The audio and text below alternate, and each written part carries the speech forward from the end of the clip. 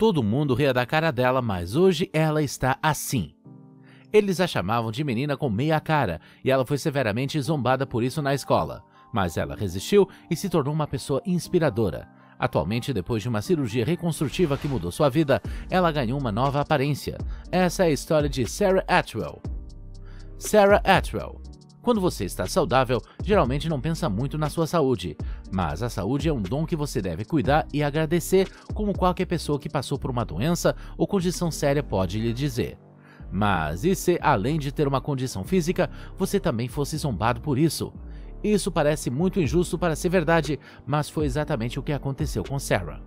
Sarah nasceu com uma doença chamada neurofibromatose, esse distúrbio é causado por uma mutação genética, geralmente herdada dos pais, e causa o crescimento de tumores no tecido nervoso. Pode acontecer em qualquer parte do corpo, desde o cérebro, a medula espinhal, as orelhas, os olhos e, no caso de Sarah, em seu rosto. Os tumores geralmente são benignos, mas podem atrapalhar o desenvolvimento da criança que é afetada por eles. Quando os tumores pressionam o nervo, eles podem ser prejudiciais e muito dolorosos. Cirurgias são necessárias para removê-los e liberar os nervos ao redor. O tumor de Sarah era benigno e não estava em um local perigoso, mas ocupava todo o lado direito do seu rosto. Isso fez com que seu rosto ganhasse uma forma assimétrica, como se um lado estivesse caído, com a pele esticada e empenada.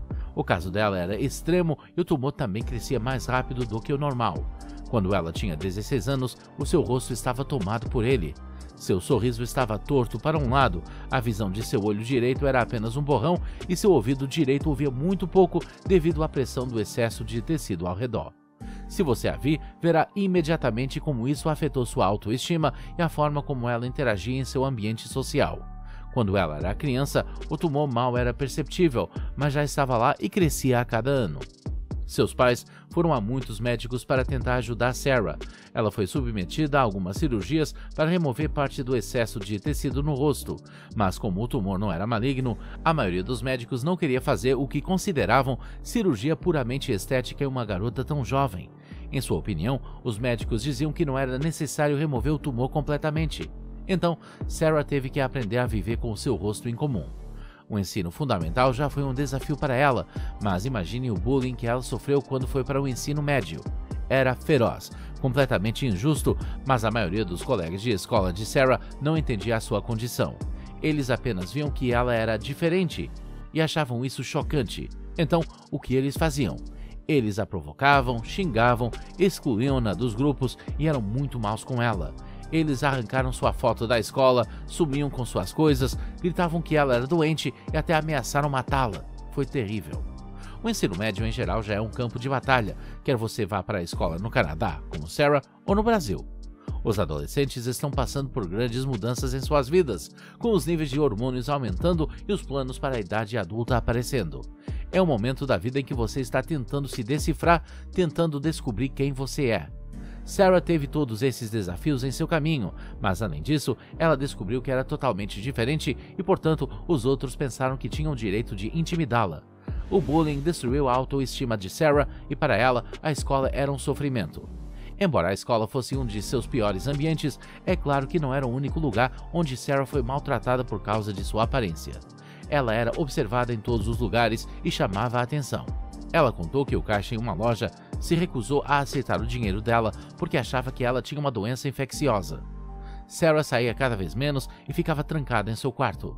O único conforto que lhe restava era seu trabalho secundário como babá. Ela adorava cuidar de crianças, até porque a maioria das crianças não via que Sarah era diferente, elas apenas a tratavam normalmente e com amor.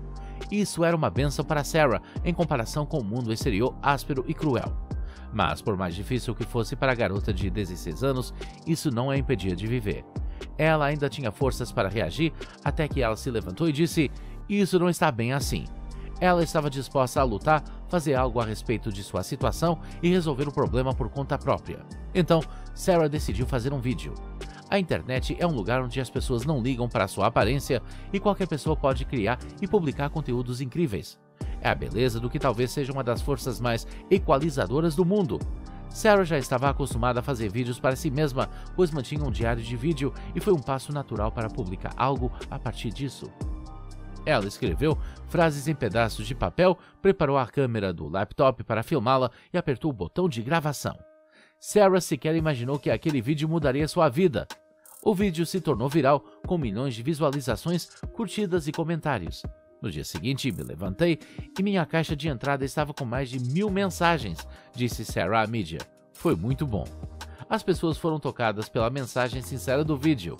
Ele começa com Sarah segurando seu primeiro cartão que diz: Olá a todos, eu sou Sarah. Uma pequena melodia feliz está tocando ao fundo e você ainda não tem ideia do que se trata. Sarah continua: Tenho 16 anos e vou para o 11 ano, com um grande sinal de positivo. Todo mundo sempre diz como eu sou bonita. Eu sempre tenho um sorriso no rosto. A música que está tocando ao fundo é de Mark Willis, intitulada Don't Laugh at Me. É muito apropriado e, como descobrimos mais tarde, Mark Willis é o artista favorito de Sarah. Ela adora suas músicas country. Suas canções são um grande conforto para ela. Enquanto isso, suas mensagens continuam. Muita gente pensa que estou sempre feliz. A verdade, eu não sou. Tudo começou na quinta série. Sofri bullying com 6 anos, tudo por causa de minha aparência. Enquanto isso, você pode ver o rosto de Sarah mudando de seu sorriso usual para lágrimas em seus olhos. É de partir o coração. O emoticon que Sarah desenhou no próximo cartão nem conseguiu disfarçar. Mesmo assim, ela continua a mostrar os cartões. Eu tenho um tumor, só isso. As pessoas não entendem. Fiz muitas cirurgias, mas não consigo perceber a diferença. Tenho poucos amigos em quem confio. Eu gostaria que as pessoas simplesmente entendessem que não há nada de errado comigo. Eu sou xingado o tempo todo, de vadia, vagabunda, cara inchada, gorda e feia. Isso dói. Eu tento o meu melhor para não deixar as coisas me incomodarem, mas é tão difícil. Eu me escondo muito e estou sempre quieta. Às vezes eu gostaria de ter uma aparência diferente, talvez essa dor fosse embora. A essa altura, se você está assistindo ao vídeo, gostaria de apenas atravessar a tela e dar um abraço em Sarah.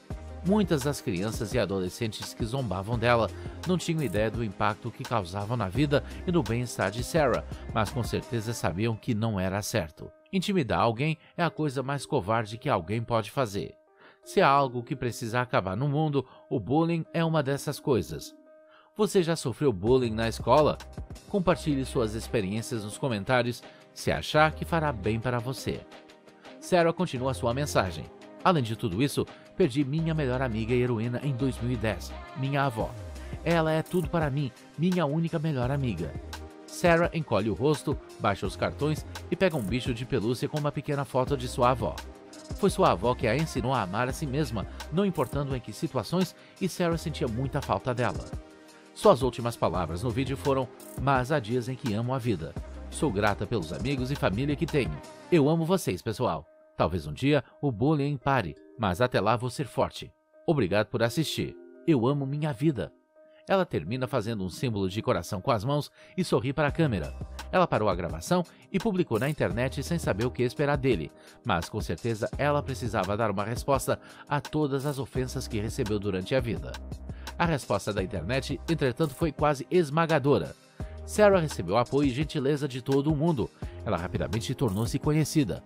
Os produtores da TV Discovery a procuraram para fazer um documentário sobre sua vida.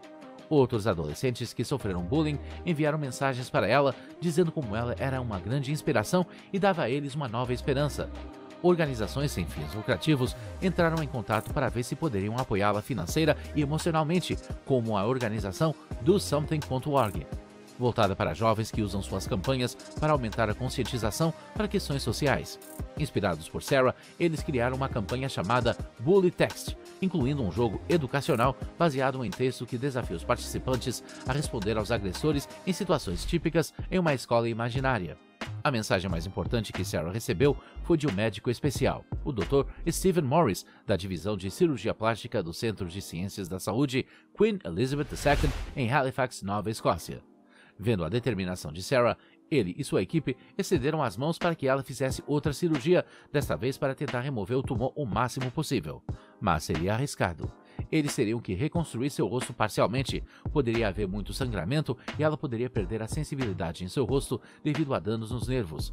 Mas Sarah estava mais do que disposta a correr o risco e, com gratidão, se inscreveu para o procedimento. A operação foi intensa e durou mais de quatro horas. Quando Sarah voltou do pós-operatório e se viu no espelho pela primeira vez, quis sorrir. E para sua surpresa, seu sorriso agora parecia mais nítido. Ela ainda estava com muito inchaço no rosto, mas já podia ver que a intervenção tinha feito uma grande diferença. É muito bom, disse ela em uma entrevista. Tenho certeza que a maior parte se foi, exceto um pouco ao redor dos olhos. O médico disse que não tinha certeza se voltaria ou não. O procedimento principal foi feito com sucesso, mas Sarah ainda teria que se submeter a outras cirurgias para terminar o trabalho. Era necessário desbastar ainda mais os tecidos ao redor dos olhos, reconstruir a órbita do olho e levantar o rosto. Mas ela já estava muito feliz com os resultados, com a inspiração que criou nas pessoas ao seu redor e também com o apoio que recebeu. Ela se sentia no topo do mundo e sentia que tinha forças de realizar o que tinha em seu coração. Como Sarah disse, se outra criança que sofreu bullying vir a minha história e pensar que pode pedir ajuda a alguém ou que aprenda a pensar eu posso me defender, então eu ajudei. Estou tão impressionado com essa jovem, que inspiração. Curta esse vídeo se você também acha que ela é incrível. Conte para a gente nos comentários se você tem alguma experiência com bullying na escola ou em outras partes da sua vida. Você também pode inspirar pessoas com sua história.